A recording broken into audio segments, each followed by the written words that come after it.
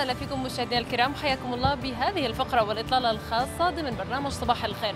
اليوم نتحدث عن أول مركبة عمومية تنقل ذوي الاحتياجات الخاصة بمزايا تسهل من آه، عملية إيصال آه، هذه الفئة وأيضا من عملية ركوب آه، الأشخاص من هذه الفئة تحديدا المركبة العمومية. وبالتالي نتحدث أكثر عن هذا الموضوع. يسعدنا استضافة مدير وصاحب مكتب الاعتماد في مدينة نابلس الأستاذ إياد الكردي. يسعد أوقاتك أستاذ. يسعد أوقاتكم وأهلا وسهلا فيكم. وصحيح يعني اسمحي لي بالبداية أقدم لكم الشكر لمحطتكم لأنه فعلا هي تابعت هذا الموضوع من البداية حتى الآن. يعني صار أكثر من لقاء وأكثر من متابعة وكنتوا دائما على اتصال معنا تسألوا إمتى بدها تتشغل هذه المركبة عشان تعملوا هذا التقرير. فكل الشكر والإحترام لكم وكل الشكر والإحترام للي قدم أي مساعدة لإنجاح هذه الفكرة. كل في موقعه وحسب عمله.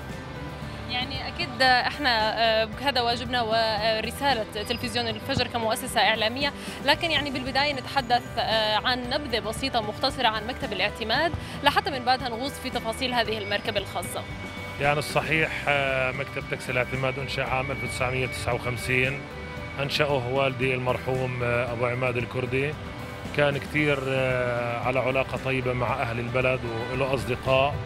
وأنا كمان بستغل هذه الفرصة وأتشكر جميع آه، أصدقائه وأهل البلد اللي قدموا له يد العون والمساعدة. وهذا سرع في محبة الناس لهذا المكتب وبدأ المكتب والانطلاق انطلق في 59 في مركبة واحدة والآن الحمد لله يتجاوز عدد المركبات في المكتب المئة مركبة. إحنا بنستذكر آه، آه، معك أستاذ إياد قصة ابنة الكرم اللي عانت مع إشكالية أنه عدم إيصالها في مركبة عمومية وكان في هناك إشكالية معينة وهي كونها من فئة ذوي الاحتياجات الخاصة واللي كانت من هون آه، هي الانطلاقة بالنسبة لكم كمكتب الاعتماد بأنكم تنطلقوا بتجهيز مركبة خاصة لهذه الفئة. نتحدث عن الدافع وعن الفكرة الأساسية لحتى يكون في هناك مركبة خاصة تخدم هذه الشريحة في المجتمع. يعني الصحيح هي الفكرة إحنا كمكتب تاكسي نحاول دائما التطور. كانت لدينا الفكرة بالسابق ولكن لم تجد الوقت المناسب لتنفيذها.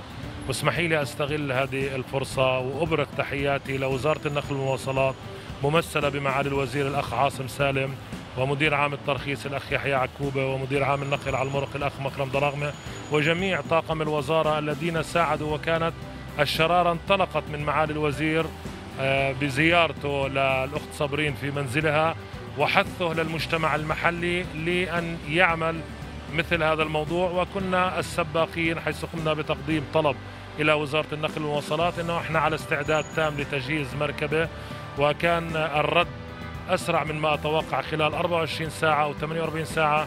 كان الرد قد وصلنا من وزارة النقل والمواصلات بالموافقة وعلى بركة الله وتم العمل والاستعداد لذلك.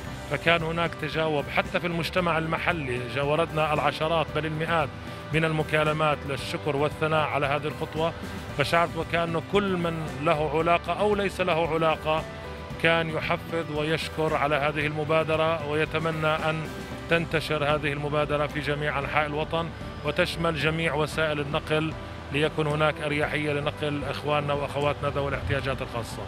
في حال كان هناك إعاقة خلال أقل من لحظات يتم تجهيزها وتنزيل هذه الرافعة يصعد ذوي الإعاقة. في عندنا حزام الأمان في عندنا بريكات في مرابط. يعني كل وسائل الأمان والسيفتي العالمية الخاصة ب ذوي الإعاقة بإمكانه أنه تكون متواجدة بهذه السيارة. تستطيع هذه السيارة إذا كان حجم الكرسي صغير مانيوال أنه يطلع أربع ركاب بالإضافة للشخص ذو الإعاقة الخامس.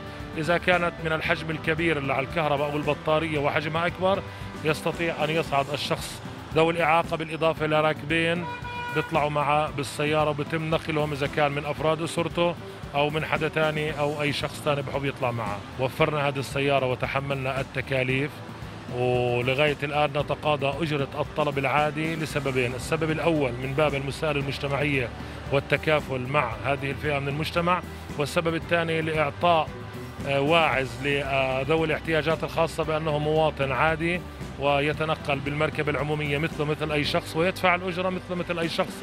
يعني محاولة دمج هذا المواطن في النقل والوصول إلى أي مكان يريده بنفس التكلفة الذي يدفعها المواطن العادي ويصبح في مساواة في النقل والدافع. في نهاية هذا اللقاء حابين كمان إحنا نطرح وننوه لفكرة أيضا إمكانية آه، آه، التواصل مع المكتب وطلب هذه السيارة أو أي سيارة أخرى من خلال تطبيق إلكتروني خاص. لما تحدثنا عن مواصفات هذا التطبيق. تم إطلاق آه، تطبيق application تحت مسمى الاعتماد جو. يستطيع أي شخص أنه يستعمله. وهذا لقينا نتائجه بفئة معينة أيضا لها علاقة من ذوي الاحتياجات الخاصة فلدينا بعض الزبائن من الصم والبكم. كان في السابق لما بده يطلب سيارة يضطر يخلي والدته أو أهله أو صاحب الدكان اللي باب بيته يقعد يأشر له بإصبعه شو بده ويعمل له. فلما نزل التطبيق أصبح هو يطلب كتابة. فمن هذا الباب لقينا فعلا أنه في بعض آه، ناس بحاجة أنه يستعملوا آه، الطرق الحديثة للتتابع. فأصبح إحنا عندنا لدينا زبائن من نوعين.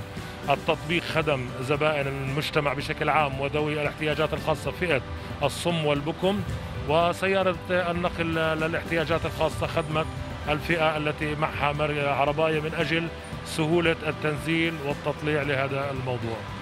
شكرا جزيلا. يعني بهذه الصورة مشاهدينا الكرام متابعينا وأيضا بوجود هذه السيارة هذا إن دل يدل على آه، آه، شمولية المجتمع وأيضا تضامن ومساندة المجتمع لمختلف الفئات اللي بتتطلب أنه يكون في هناك حاجة معينة. فصابرين جابر بنت آه، تول كرم بالتأكيد هي كانت قد نادت بكل الجهات الداعمة للاهتمام بهذه الفئة وتقديم كل الخدمة وأخذ ممكن حق من حقوقها كأي مواطن آخر يتمتع بصحة جسدية ممتازة. وبالتالي كان على تاكسي الاعتماد. وهذا المكتب وأيضا الجهات الداعمة والشريكة بأنهم يلبوا بهذا النداء وهذه الدعوة وأن يكونوا على أتم الاستعداد والجاهزية لتقديم كل هذه الخدمات.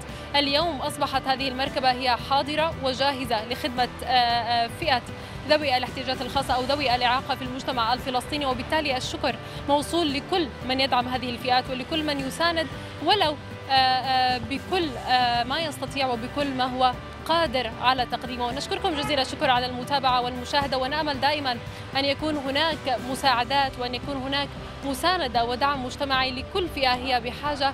مني أنا هبة مصطفى أتمنى لكم متابعة شيقة. إلى اللقاء.